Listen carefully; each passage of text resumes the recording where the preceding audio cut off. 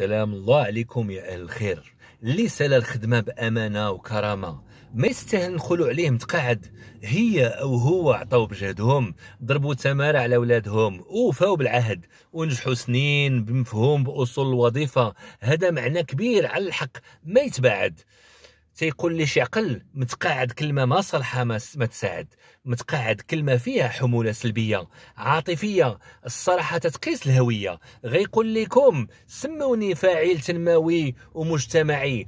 أديت الواجب تاعي. هنا خصو يتعزز ويتكرم كل ما هضرنا على التفاني. بشكل راقي وواعي. في سياق قريب.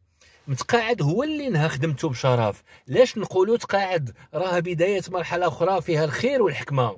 مرحلة العمر الثالث كيف ما تتسمى تتحتاج تخطيط واستغلال أمثل للوقت والجهد. هذه هي الهمة. تراعي التغيرات الجسدية والنفسية لأنه هذا العمر خصه اهتمام كبير. ماشي غير شوية.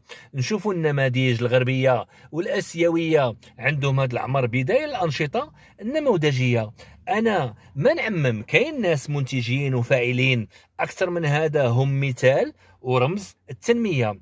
إيوا مول الأمانة والخدمة والكرامة. أشنو نقولوا ليه منين هي الخدمة؟ تهانينا على خدمتك الرزينة ونجاحك في المهنة.